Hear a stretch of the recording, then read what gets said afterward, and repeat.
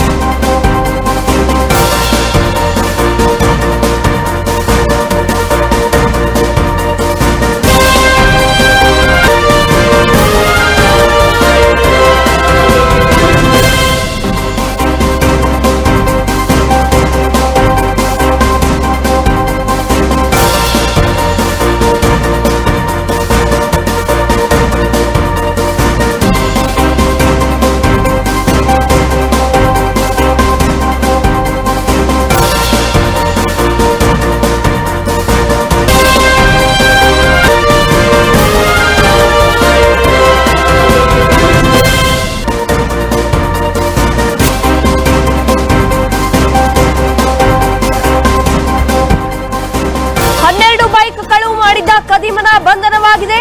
ಹೆಬ್ಬರು ಪೊಲೀಸರ ಕಾರ್ಯಾಚರಣೆಗೆ ಬಲೆಗೆ ಬಿದ್ದ ಬೈಕ್ ಕಳ್ಳ.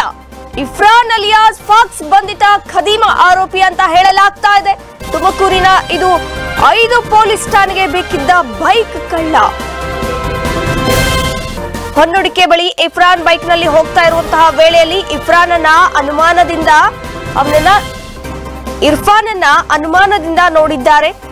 ಆಸುಪಾಸು ಇರೋಂಥವ್ರೆಲ್ಲರಿಗೂ ಕೂಡ ಒಂದಷ್ಟು ಅನುಮಾನಗಳು ಇಲ್ಲಿ ಬಂದಿದ್ದಾವೆ. ಇದ ಈ- ಒಂದು ವಿಚಾರವನ್ನ ಆಧರಿಸಿ ದಾಖಲೆಗಳನ್ನ ಪರಿಶೀಲಿಸಿ ಪೊಲೀಸರು ಇರ್ಫಾನ್ ಅನ್ನ ಬಂಧಿಸಿದ್ದಾರೆ. ಠಾಣೆಗೆ ಕರೆತಂದು ವಿಚಾರಣೆಯನ್ನ ನಡೆಸಿ ಬಾಯಿ ಬಿಡಿಸಿದ್ದಾರೆ ಪೊಲೀಸರು. ತುಮಕೂರಿನಲ್ಲಿ ಸರಣಿ ಬೈಕ್ ಕಳ್ಳತನ ಮಾಡ್ತಾ ಇದ್ದಂತಹ ಇರ್ಫಾನ್ ಅಂತ ಹೇಳಲಾಗ್ತಾ ಇದೆ. ಕದ್ದ ಬೈಕ್ಗಳನ್ನ ಐದಾರು ಸಾವಿರಕ್ಕೆ ಮಾರಾಟ ಮಾಡ್ತಾ ಇದ್ದ ಕದೀಮ.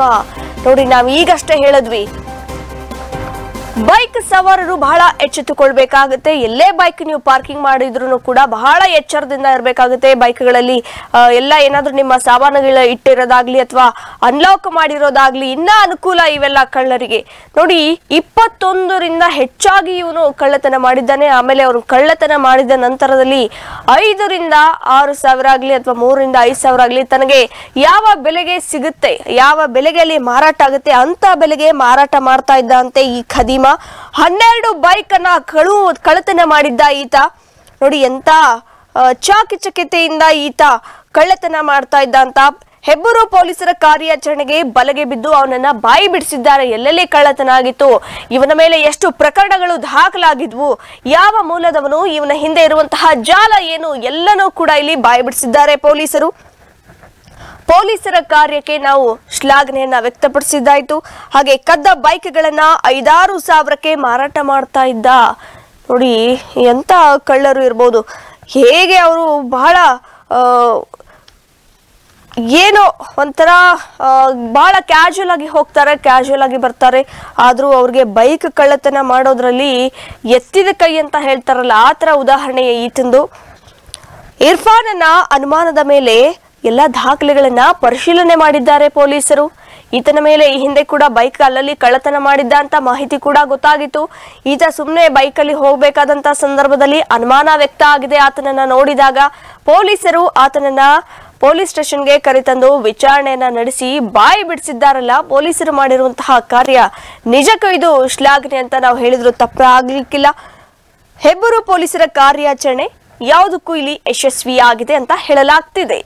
ಬೆಂಗಳೂರು ಪೊಲೀಸ್ ಠಾಣೆಯ ಸಬ್ ಇನ್ಸ್ಪೆಕ್ಟರ್ ಎಸ್ ಬೈರೇಗೌಡ ಅವರ ಸಿಬ್ಬಂದಿ ಇತ್ತೀಚೆಗೆ ಅವರ ಸರಹದ್ದಲ್ಲಿ ಕಳತಲಾಗಿದ್ದಂತಹ ಒಂದು ಮೊಕದ್ದಮೆಗೆ ಸಂಬಂಧಪಟ್ಟಂತೆ ಒಬ್ಬ ಆರೋಪಿ ಇರ್ಫಾನ್ ಅಲಿಯಾಸ್ ಫಾಕ್ಸ್ ಬಿನ್ ಅಕ್ಕ ಇವನು ತುಮಕೂರು ಟೌನ್ ಗಾಂಧಿನಗರದ ವಾಸಿ.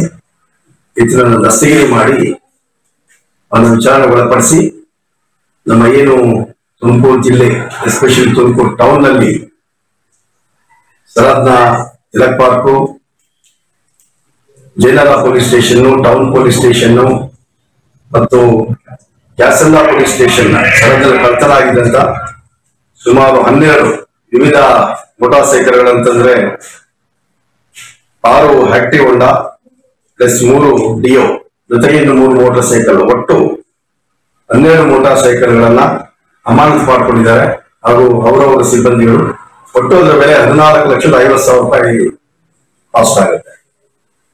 ಈ ಕಳ್ತನ ಏನು ಮಾಡ್ತಾ ಇದ್ದಂತ ರ್ಯಾಂಪೆಟ್ ಆಗಿ ಆಗ್ತಾ ಇದ್ದಂತ ಇದನ್ನ ಪತ್ತೆ ಮಾಡ್ಲಿಕ್ಕೆ ಮಾನ್ಯ ಎಸ್ ಪಿ ಸಾಹೇಬರ ಆಗಿರ್ತದಂತ ಆಗಿದ್ದಂತ, ಆಗಿರ್ತಕ್ಕಂಥ ನಮ್ಮ ಈ ಅಶೋಕ್ ಸಾಹೇಬ್ರವರು ಡಿ ಚಂದ್ರಶೇಖರ್ ಹಾಗೂ ಸರ್ಕಲ್ ಇನ್ಸ್ಪೆಕ್ಟರ್ ರಾಮ್ ಪ್ರಸಾದ್ ಬೈರೇವಾಡ ಮತ್ತೆ ಇವರು ಸಿಬ್ಬಂದಿ ಒಂದು ಸ್ಟಾಫ್ನ ಒಂದು ಟೀಮ್ ಫಾರ್ಮೇಶನ್ ಮಾಡಿಕೊಂಡು ಈ ಸಿಬ್ಬಂದಿಯನ್ನ ಉಪಯೋಗಿಸಿಕೊಂಡು ಆರೋಪಿನ ದಸ್ತಿಗಿರಿ ಮಾಡಿ ಇಷ್ಟು ಮಾಲನ್ನ